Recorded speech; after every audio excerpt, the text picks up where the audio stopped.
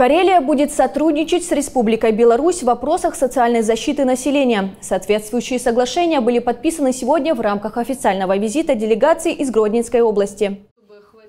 Это первые подобные соглашения с одним из субъектов Беларуси. Одно из них заключено между Министерством социальной защиты Карелии и Комитетом по труду, занятости и соцзащите Гродненского областного исполнительного комитета. Второе – между двумя аналогичными учреждениями, нашим комплексным центром социального обслуживания населения и Гродненским.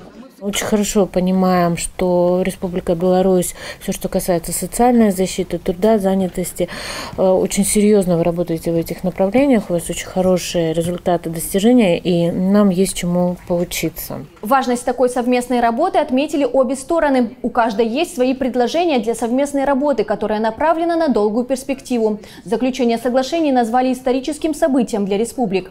У нас есть э, перспективные э, возможности дальше развиваться, приобретать опыт и вашей республики, и Республики Карелия, опыт Гродненской области в системе социальной защиты, брать новшества, брать новые формы э, социального обслуживания для того, чтобы э, была возможность, скажем, развивать наши системы. Безусловно, э, у нас много общего, э, есть друг друга чему учиться. Сегодня вот уже я записала несколько направлений, по которым однозначно мы должны посмотреть, например, та же тема замещающей семьи для пожилых людей, да, или э, совместное проживание пожилых людей. Это вот у меня уже сразу вызвало ну, здоровый интерес, здоровый интерес. Поэтому, конечно, мы будем э, развивать сотрудничество как на уровне непосредственно министерств, так и наших учреждений. Заключение соглашения о сотрудничестве – первый этап работы Гродненской делегации в Карелии. В рамках визита запланировано посещение Петрозаводского дома-интерната для ветеранов,